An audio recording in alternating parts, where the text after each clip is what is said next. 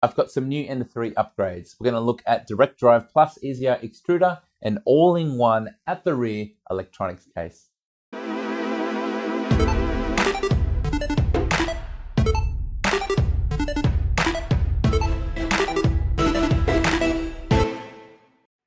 This is my trusty Ender 3 Pro. It's my second Ender 3 and I consider it a development machine. I like to try out all sorts of things on it and as such I'm constantly working on it which means pulling it apart and putting it back together.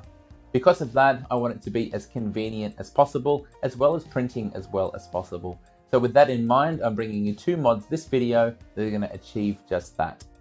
You might remember previously I tested the Palette 2 and it worked great on my Prusa Mark 3 but not so good on the Ender 3.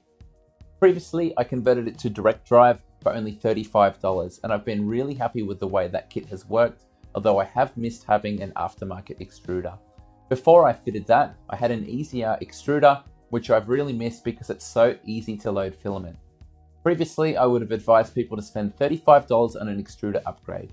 Either they got the EZR to keep the Bowden extruder, or they converted to direct drive for the same price. Now with this one tiny part that I've developed, you no longer have to choose. Let me be clear that my problems are not with the direct drive extruder kit. That's working great. And the reason it's so cheap is because it retains the factory extruder bolting straight onto the nicely machined metal part. My complaints are with this factory extruder, not anything to do with the direct drive kit. When loading filament with an EZR, it never gets caught. The filament goes straight through into the tube every time. On the factory Ender 3 extruder however, it is possible for it to shoot out the side and miss the hole underneath. And when it doesn't do this, quite often it's just really difficult to line everything up. At first I experimented with the idea of designing a replacement part for the factory extruder, doing away with all of the parts you see on black on the left, but I still couldn't get it to work reliably. Therefore what I ended up with was this simple adapter bracket for the EZR. As you can see here, it bolts as a spacer in between the DDE3 and the EZR extruder. All of the clear acrylic pieces face backwards and we have easy access to the squeezing mechanism as well as the extruder wheel for manually moving the filament in and out. From the front, we can now see that the stepper motor sits just a little bit higher than before, but the upside of that is there's now a bigger gap to give yourself more options for cooling fan ducts and things like that. One thing I really liked was on Thingiverse, there was a clip-on adapter that works with the Palette 2. That adds on the necessary fitting, and this brought me some success with the Ender 3 finally. Although there's still some other issues that aren't to do with the Ender 3 that are stopping it from synchronizing perfectly, but more on that in a future video.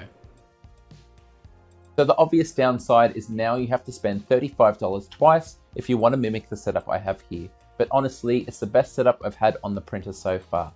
I've got the convenience of great loading, an extruder wheel, and flexible specific performance of the EZR, but I've also got the short and easy to tune retraction, as well as a super neat install of the direct drive kit. Next up, the electronics. And when I previously made a video on how to convert an Ender 3 to an MKS Gen L, I came up with an electronics enclosure that worked not too bad. The main problem was to keep the USB port accessible on the new board, it had to be mounted on the underside of the machine. When I was making those guides comparing all the various stepper motor drivers, as well as other mods, I can't tell you how annoying it was to continually have to flip the printer upside down to access the electronics. I thought that there had to be a better way, so I put on my thinking cap and I've developed what I think is a far superior solution. The Ender 3 as standard has its electronics in the front left, either facing up for the standard model or down for the Ender 3 Pro. But why not the rear of the machine? I started with a basic sketch of my concept to have two panels that could fit on the Ender 3 bed for printing. On the left hand side there should be room for a Raspberry Pi and any other accessories and on the right hand side either the standard board or an aftermarket one. It took me around 4 iterations to perfect it so let me talk you through how it works. It's easy to forget that the Ender 3 is technically open source and that means on the Creality GitHub they have a full CAD model of the whole thing the reason I needed this is because I have an Ender 3 Pro, but this model is of a standard Ender 3. One of the main structural differences affecting this part is this railing here. On a standard Ender 3, it's 20mm wide, whereas on a Pro, it's 40mm wide. This mod should be compatible with either printer, assuming like it's shown here, there's nothing underneath the railing. It shouldn't matter how wide it is. The mod consists of 5 parts, but you'll only need to print 4 depending on your configuration. You can also reprint the parts you need to later on if you end up upgrading your main board. All of the parts are also designed to fit on the Ender 3 bed and print easily without any support. Let's have a look at how the printed parts go together. We have our left hand side which has a fan mounted in it and the space to mount a Raspberry Pi with access to the Ethernet as well as the four USB ports. There's also mounting bosses for a buck converter and space to put two relays as well. For the right hand side we have two options depending on which mainboard you're running. If you're using the stock mainboard, there's an option for that that gives you access to the USB and SD card as well as mounting bosses for 4 TL smoothers to eliminate zebra stripes. If you've already upgraded however, you're going to use the other design and that is compatible with the MKS Gen L as well as the SKR 1.3 which has the same physical dimensions. As you can see there's access for the USB for the MKS as well as a USB and SD card for the SKR. Whichever combo you go with, that goes together the same way. The two halves will snap together, it should be a very tight fit and after everything is screwed in and aligned, it should act as one piece and be fairly rigid. An M3 bolt is used front and rear and they can be quite long because the hole is continuous on the inside. The rear bolt has room to be inset so therefore it won't foul on the frame. As you can see the two parts bolted and snapped together is now quite strong. All of the electronics components are meant to be retained with M3 by 8mm bolts. All of the bosses have 3mm holes and they're designed that you cut the thread when you insert the bolts for the first time. I recommend that you start by mounting your mainboard. Now I've mounted my fan, which does need longer M3 bolts, as well as a buck converter, and let me explain the thermal management. There's these slots on the underside of the right hand side. The air is designed to come in those, come across the heat sinks, and then be blown out the bottom from the fan on the far left hand side. Even with the Pi and a relay installed, there's still room to put a much thicker fan if you want to increase the cooling. When you get to this stage, you're ready to install it in the printer. Pull all of your wiring looms from the front of the printer to the back and then move them to the side so they're clear and out of the way. After this we're going to pull off the two plastic caps that cover the end of the 4040 extrusion. You can see that with the bed the whole way forward we have complete access from above to either side of the rear of the machine. Unplug the Y stepper motor because that plug's going to get in the way and then offer up our new plastic parts and they slide into the lower of the extrusion slots double check nothing is caught and that it can slide the whole way to the back.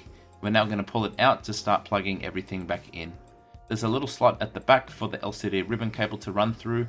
We're going to line it up with that, pull it through but not plug it in yet because it's going to get in the way at this stage.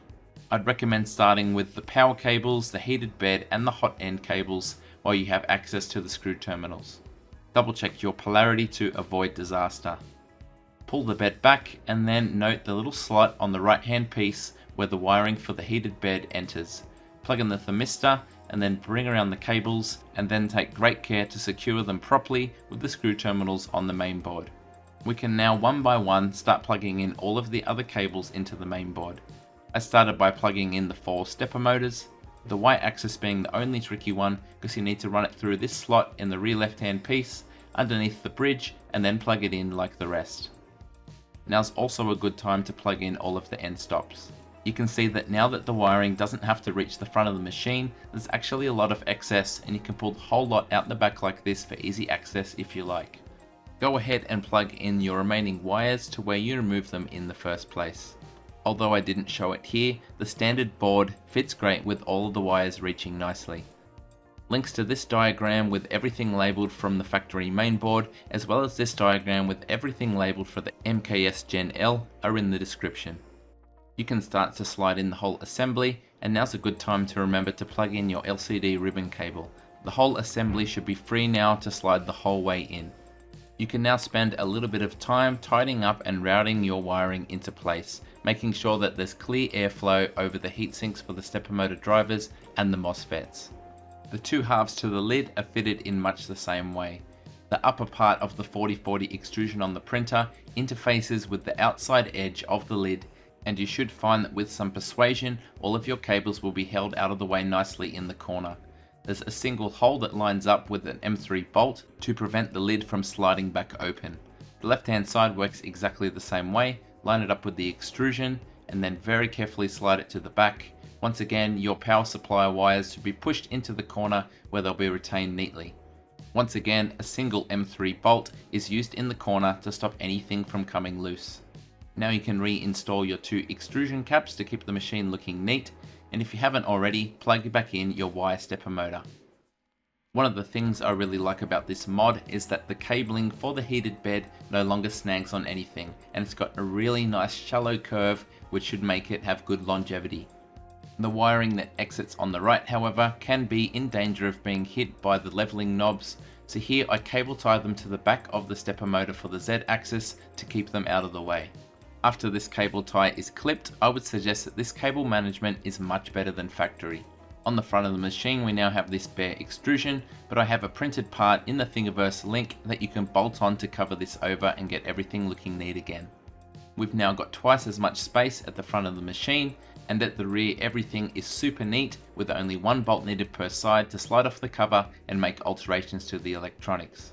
Because the fan is on the underside and at the back, it's also much quieter now.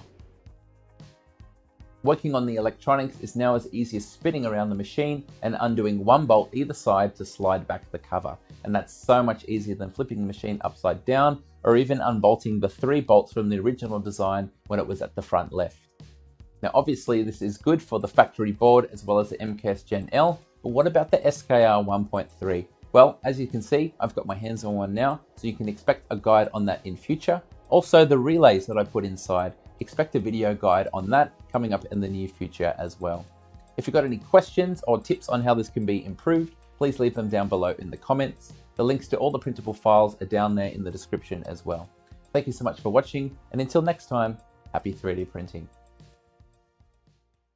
G'day, it's Michael again. If you like the video, then please click like. If you want to see more content like this in future, click subscribe and make sure you click on the bell to receive every notification. If you really want to support the channel and see exclusive content, become a patron. Visit my Patreon page. See you next time.